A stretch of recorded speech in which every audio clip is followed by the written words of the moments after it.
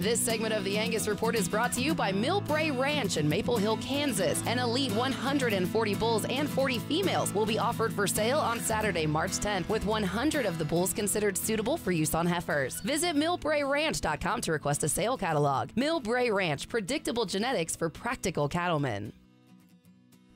Angus breeders have always been progressive when it comes to collecting data on their herds.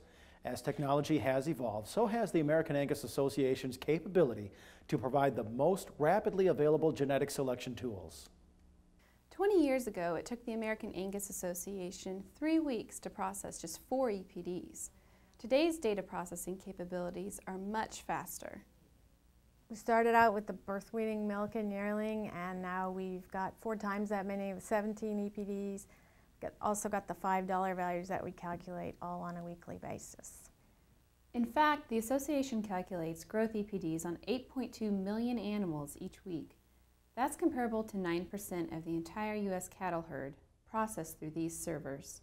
Weight data is really seasonal. Fall is our busy time. Right now we're getting about 7,000 weaning weights a week. Um, the hardware changes are amazing. We had a mainframe as big as two rooms and it held very little data and little memory and, and now we have several servers with much more processing power. Today's technology allows the association to continue expanding services to members and an in-house IS department means faster turnaround.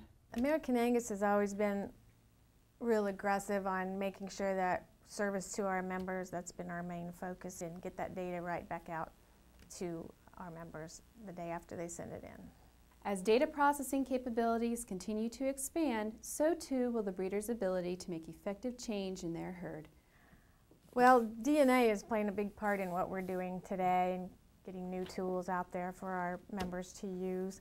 But we're also just starting in the smartphone app development stage. Um, and so haven't found any business that parallels with ours. Hence the reason for writing our own software because there's no package off the shelf that you can use to process our data. For the Angus Report, I'm Crystal Albers.